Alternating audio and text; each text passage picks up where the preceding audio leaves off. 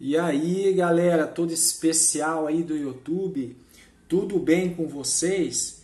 Nós estamos aqui do canal né, Matemática Boa, é, passando para vocês mais um desafio aí, né? Qual o valor que falta aqui, tá? É uma questão aqui é, um, um pouco fácil aí, tá?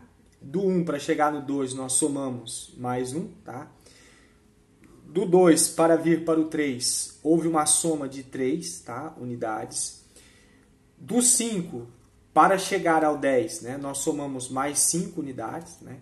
E do 10 para chegar ao 17, nós somamos mais 7.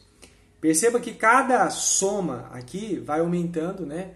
É, dois valores. Ó. A gente começou somando 1, depois somamos 3, né?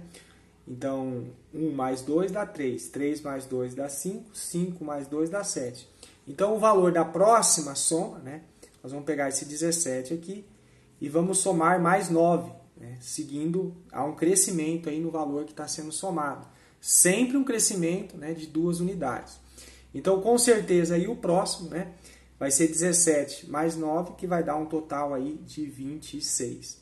Diga aí nos comentários, tá? Se você concorda, se não concorda conosco, né?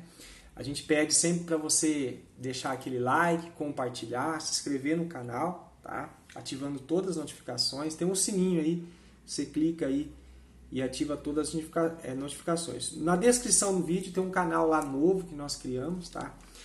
Para pessoas aí que querem passar em concurso público, né? Um canal que só trata de questões de concurso público. Jeremias 29, 11. Pois eu sei os planos que tenho para vocês, declara o Senhor, planos para o bem-estar e não para o mal, para lhes dar um futuro e uma esperança. Né? Então Deus ele sempre tem bons planos. Né? Às vezes a gente fica com medo de entregar a nossa vida nas mãos do Senhor, né? com medo que Ele vai fazer algo que não vai é, trazer um benefício para nós. Né?